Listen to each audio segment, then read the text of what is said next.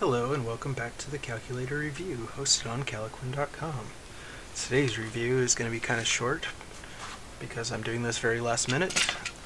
This is the Soroban Abacus. Um,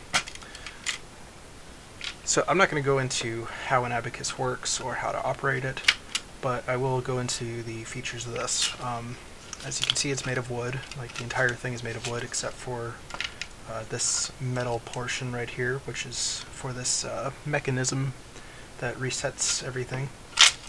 It's pretty cool and very satisfying to press.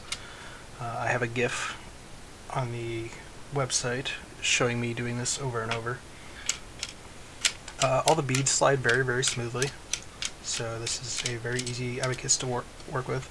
Um, one of the things I don't really like about the Soroban uh, variant is there's very little space for the beads to actually slide. So it, it's it's it's easy to see, but it's also very easy to knock things back into a place where you don't want them. So that's a little unfortunate. But other than that, this thing's really really cool. I don't know who made the who makes this or uh, what year this is from. I found this at Goodwill for about a buck. Um, on the bottom it's got these rubber feet so that way it doesn't slide around while it's in use and it holds in place pretty firmly. I mean you're not going to be pushing this thing very hard as you're working with it. So yeah, that is the uh, Abacus. They come from uh, Japan and these were invented back in the 14th century.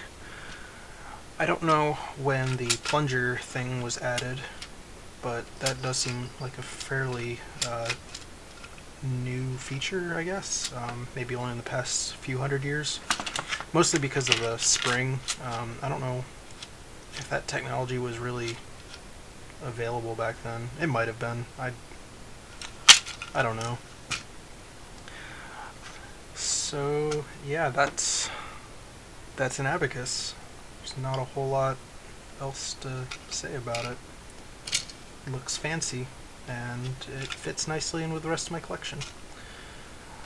So, thank you very much for watching. Have a great weekend.